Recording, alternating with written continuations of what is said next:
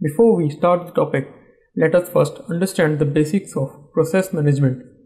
What do you understand by management? Management refers to the organization and coordination of the activities of a business in order to achieve defined objectives. Management is often included as a factor of production along with machines, materials, and money. Next, what is business process? A business process is simply defined as any activity or set of activities designed to change one or more inputs, which may be physical or information, into one or more outputs. Now we move on to the subtopic process planning. What is actually process planning? The development of goals, strategies, task lists, and schedules required to achieve the objective of a business. The planning process is a fundamental function of management and should result in the best possible degree of need satisfaction given the resource available.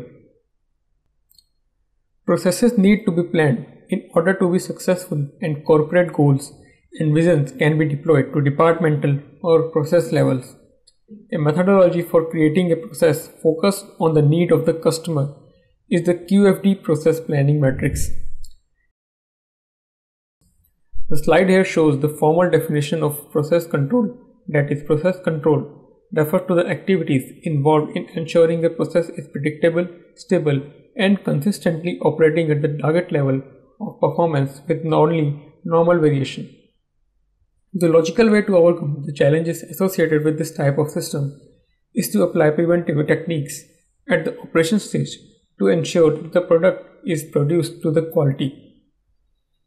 The approach is based on statistical process control which is a statistical method of data collection and analysis that works in such a way as to monitor the operation and control it to its maximum potential.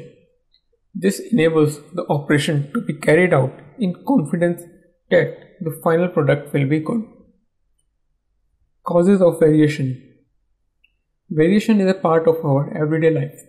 Both at work and in our private life, we make allowance for its effects from the process of getting to work in the morning to the output of a complex manufacturing system. We need to get a quantitative feel for the variation in our processes. There are two basic elements to this variation the central tendency and the spread. We need to have a handle on both these things, they are vital to a successful process. At this stage, it is important to note the two potential causes of variation that can affect a process. Number one, common cause variation. This is a variation that is inherent in the process. It is always there. In the process of getting to work, this will mean things like waiting time at fixed traffic lights, or the driver's mood and condition or weather conditions. Only fundamental action on the process can change common causes. For example, changing route to avoid traffic lights remove that cause of variation. Number 2. Special cause variation. This is a variation due to transient causes outside the process norms and can usually be traced back to the specific cause. In the journey to work example, this would include roadworks, breakdowns, etc. In many cases, action can be taken to achieve a reduction in the future effect of these transient problems. For example, better maintenance to avoid breakdowns, which does not fundamentally change the process. Accordingly, a process which is subject only to common cause variation is described as being in statistical control. This is sometimes reduced to in control or described as stable. This essentially means it is predictable and we know what is coming within limits. When a process is under the influence of special causes it is described as being out of statistical control or out of control or unstable.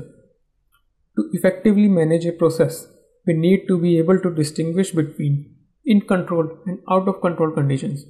To do this, we need to establish what the natural limits of the common cause variation are. To begin this process, we need to put the data into context.